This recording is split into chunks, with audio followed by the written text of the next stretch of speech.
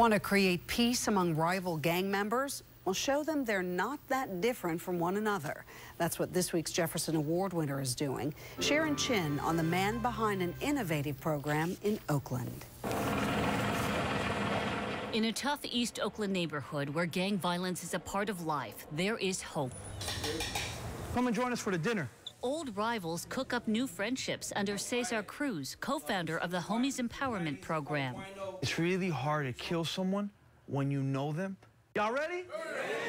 Cesar invites sworn enemies to cook and eat side by side every Wednesday night at the YMCA on 45th Avenue. Afterward, there's food for thought, a message of peace. You can be a peaceful gang member.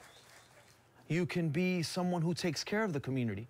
Take Adrian Arias and Nestor Ramirez. They live in rival neighborhoods, but discovered they can find common ground. They share the grief gang violence can bring.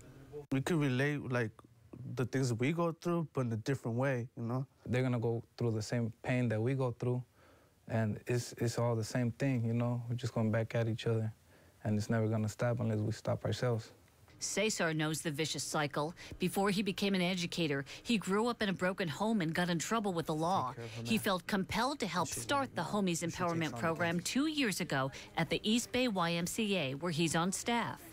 I average about six to 10 funerals a year that I attend. Most are open casket. I'm tired of it. Today, he oversees more than 200 young people in the program who are in gangs or influenced by gangs. The president of the East Bay YMCA praises Cesar's leadership. He has the uh, passion and urgency of an activist, the knowledge and nurture of a teacher, and the skills and psychological appropriateness and modalities of a developmental psychologist. He's come out in a lot of movies about norteños and gangs. Cesar also teaches Latino history, not only at Homies Empowerment meetings, but also at Arise High School in Oakland. And what happens when I don't meet someone else's expectations? Students say learning about Latino history for the very first time helps them dream big. After you know that your race also has heroes, just like every other race, then it, it, motivates you and you know that it's possible. And many students say Cesar is one of their heroes for making peace a reality.